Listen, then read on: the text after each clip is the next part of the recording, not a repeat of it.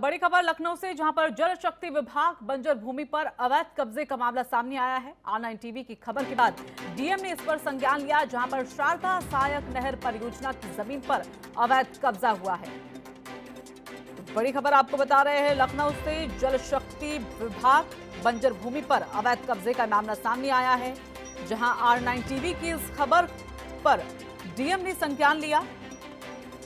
तो बता दें कि भानु प्रताप ने अवैध कब्जा कर बारात घर यहाँ पर बनाया। मोहनलालगंज तहसील के मथौली गाँव का मामला बताया जा रहा है। तो शारदा सहायक नहर परियोजना की ज़मीन पर यह अवैध कब्जा किया गया है और डीएम ने इस पूरे मामले को लेकर अब संज्ञान ले लिया है।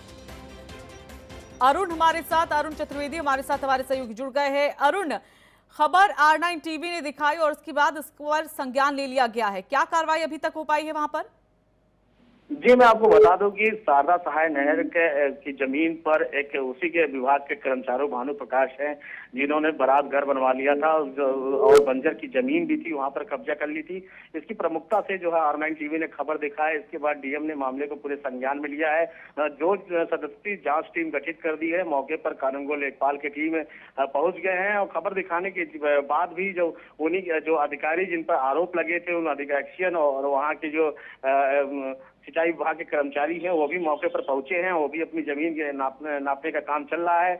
आर नाइन टीवी का पूरा असर हुआ है यहाँ पर नाप जोक जहाँ पर चल रहा है लेकिन सवाल खड़ा होता है कि जहाँ पर एक तरफ़ जल शक्ति विभाग के कर्मचारी दूसरे अवैध कब्जों पर कार्रवाई करते हैं उनको गिराया जाता है लेकिन उन्हीं के अधिकारी और कर्मचारी उन्हीं के अपनी जमीनों पर अवैध कब्जा कर रखे हैं और सिंचाई विभाग के कोई भी अधिकारी अभी तक किसी मामले में न नोटिस दिया न संज्ञान लिया है। अब ये सवाल ये, ये भी खड़ा होता है कि हम्म। आखिर जो जाँच की जा रही है इस जाँच में निकल के जो सामने जो दस्तावेजों में जो आया अवैध कब्जा जो दिखाई पड़ रहा है क्या उस पर कोई कार्रवाई करता है कि यहाँ पर ये सवाल लाजमी है कि यहाँ पर उठेंगे कि अधिकारी कार्रवाई आखिरकार कब यहाँ पर सख्ती से करेंगे। फ़िलहाल इस मामले को लेकर हालाँकि डीएम ने संज्ञान लिया और कार्रवाई की जा रही है। धन्यवाद आपका अरुण हमारे साथ जुड़ने के लिए।